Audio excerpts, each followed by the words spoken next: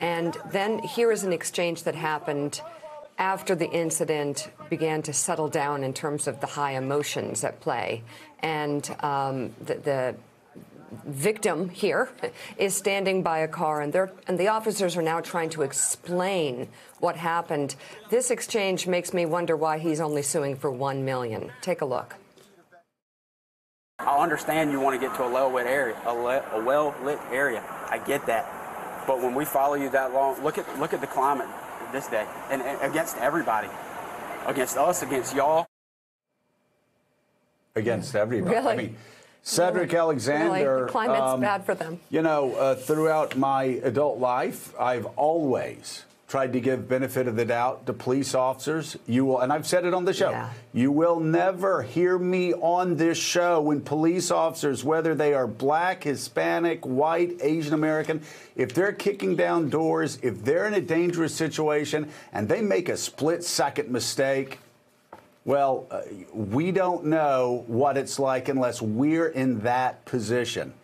But in this case, like the George Floyd case, they knew what was going on. Mm. They had minute after minute after minute to correct their wrongs, and they just refused to do it. They continued to humiliate a lieutenant, a lieutenant who was serving their country when they not only had the responsibility, but you would assume had the training to draw back and calm down and understand they had made a terrible mistake. But it just went from bad to worse. And they had to humiliate the black man, get him on the ground, shove the lieutenant on the ground until he started weeping. It is disgusting.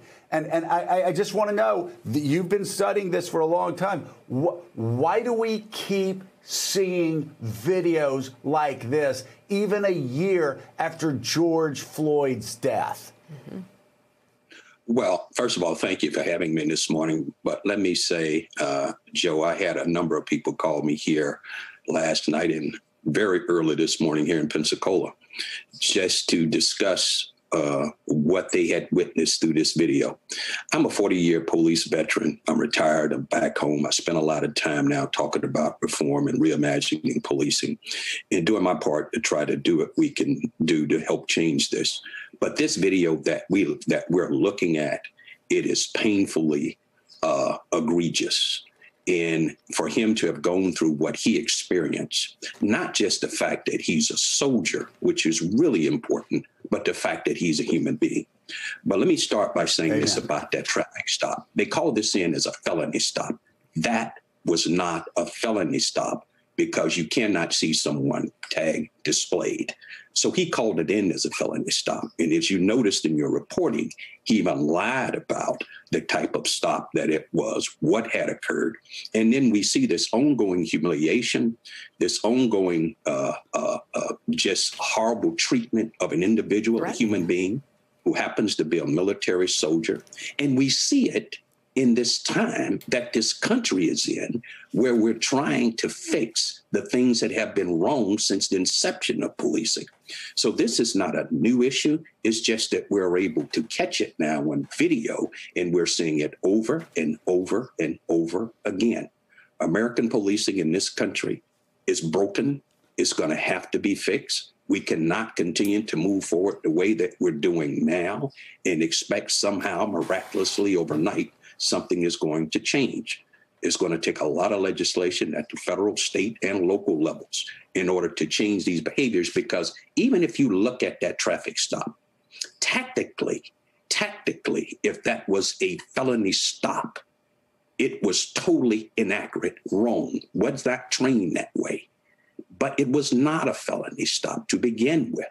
And in addition to all that, to humiliation, calling him out the way that they did, you're going to ride the lightning? No, Officer Gutierrez, you should have been fired the night that this occurred.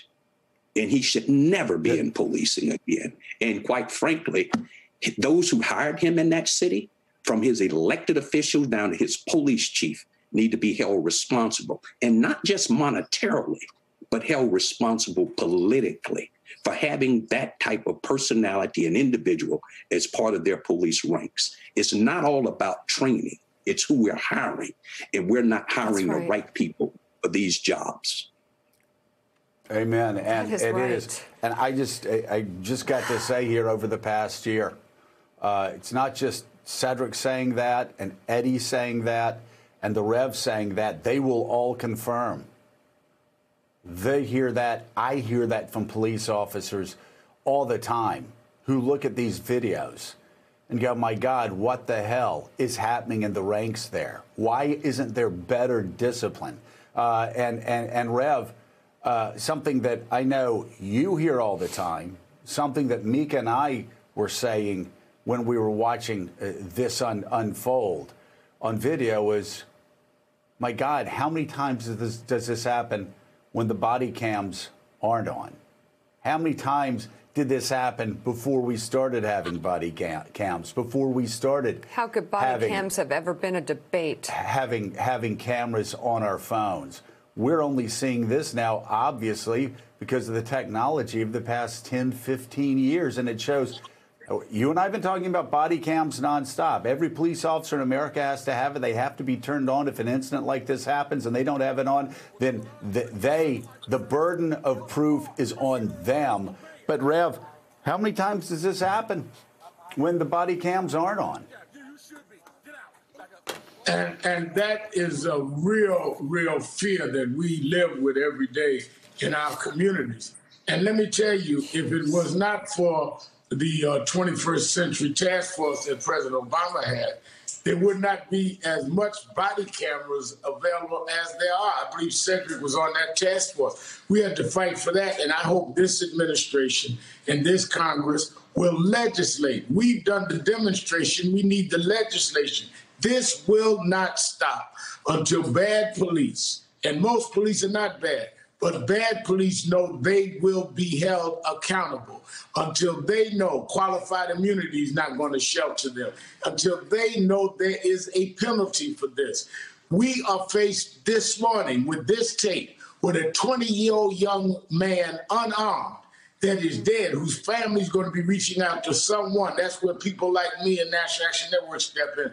How do we explain this over and over again without changing the laws? The good news is you are right. Many police are now beginning to speak up. For the first time, we saw police officers take the stand in Minneapolis and testify against Chauvin which I've not seen in the years that I've been out here fighting against police misconduct. I've never seen the blue wall pierced as it has in Minneapolis. But even as that happened, a policeman still can take his gun and shoot and kill right in the same county that this trial is going on. We need to deal with if there is no legislation, there will not be a change in behavior in bad cops. Bad cops are not going to be converted. They have to therefore be convicted in the court of law if they do what is wrong. Hey, thanks so much for watching our YouTube channel. You can follow up on today's top stories and breaking news or catch up on your favorite MSNBC shows all in one place. Download the NBC News app today.